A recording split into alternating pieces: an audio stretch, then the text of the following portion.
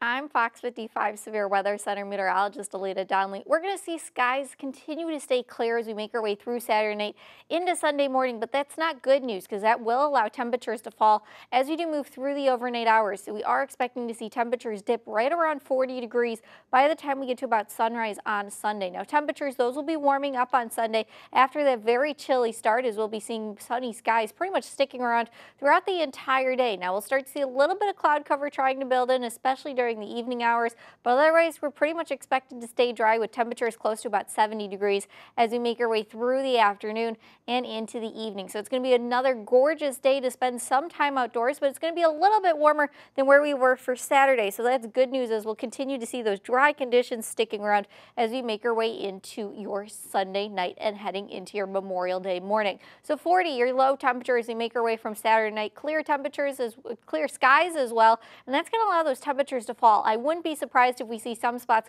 close to the upper 30s as we make our way through the overnight hours, so that's something to watch out for. Now, if you're planning on taking the dog out for a walk on Sunday, it's going to be a gorgeous day to do so. This is Maggie from our own Beverly Perry, and as you can see, temperatures will start off into the mid 40s in the morning, then warming up into the 50s by about 10 a.m., then into the upper 60s as we do head into the afternoon hours. Now, we will see some pools across the area open up as well on Sunday, and it's going to be a decent day to head out to to those pools. We'll see a high temperature about 70 degrees. Mostly sunny skies across the areas. We will be continuing to see minimal cloud cover as we make our way through your Sunday. Now, you can always download our Fox 55 Severe Weather Center app on the App Store or the Google Play Store to have our latest forecast in your pocket.